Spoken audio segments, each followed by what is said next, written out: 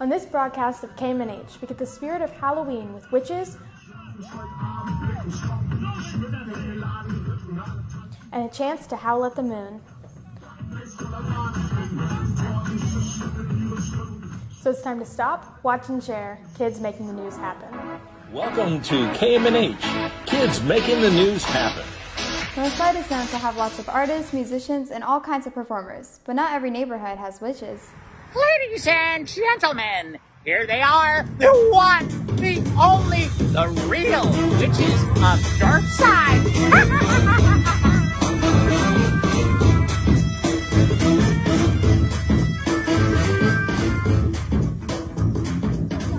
And these Northside witches are not about casting spells, unless it's a spell that makes you get up and dance.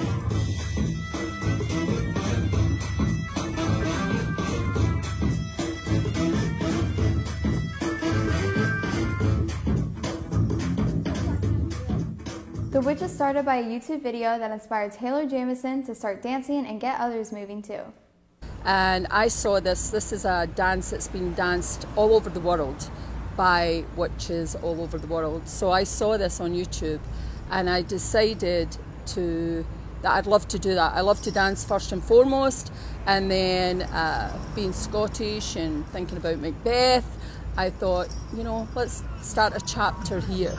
And the witches have cast their dancing spell on lots of other witches in Northside.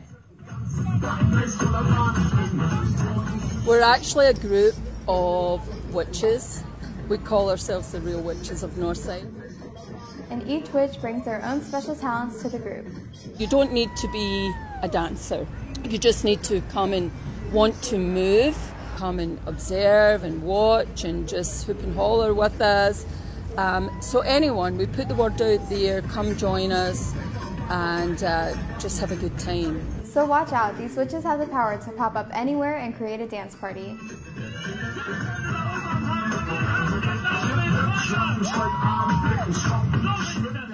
And Halloween night is the perfect night for the witches and dancing. This will be our fifth year. Uh, Halloween night between 8 and 9 at the corner of Blue Rock and Hamilton, right here in Northside at Hoffner Park. All you have to do is uh, check our Facebook page, which is The Real Witches of Northside.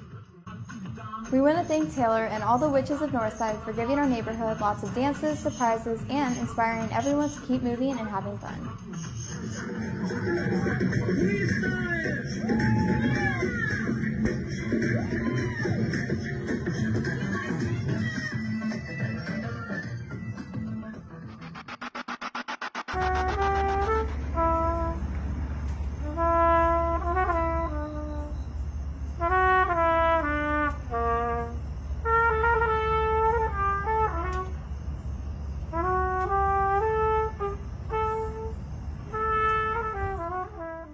Night was a beautiful night to take a walk in Northside. And it just happened to also be the night of Happens Porch Tour. And the tour included over 170 homes and 1,200 luminaries. Over 200 people attended the walk that also included lots of fun, giveaways, and lots of music.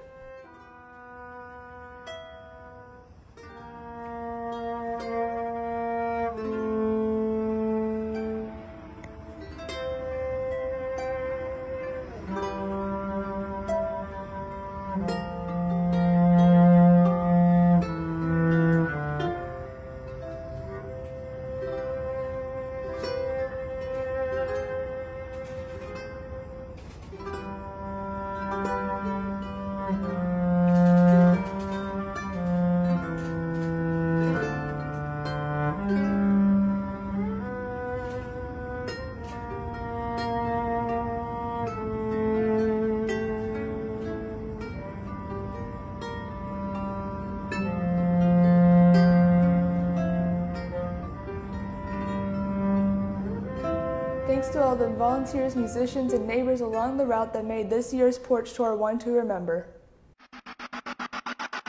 My first visit to Happen was when I was three years old, and because Happen started 22 years ago, kids from all over Cincinnati have literally grown up with Happen.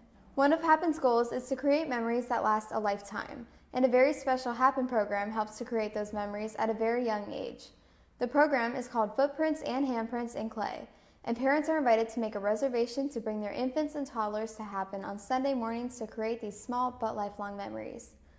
The program has existed for over 10 years and is totally free. Parents just need to contact Happen by email at info at happeninc.org and make a reservation. Each family will receive not just one, but five slabs of clay for their child's impressions, because Happen knows that they make great gifts for grandparents, aunts, uncles, or any family or friends.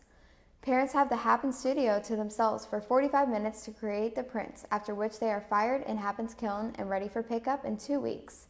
It's just another way that we express the Happen theme that community is not just where you live. It's how you live with other people. If you enjoyed tonight's KMNH, then please support our efforts and share this broadcast with your friends and family. And until then, we leave you with some spooky sights of the moon seen through Happen's telescope at Happen's Star and S'mores event last Saturday.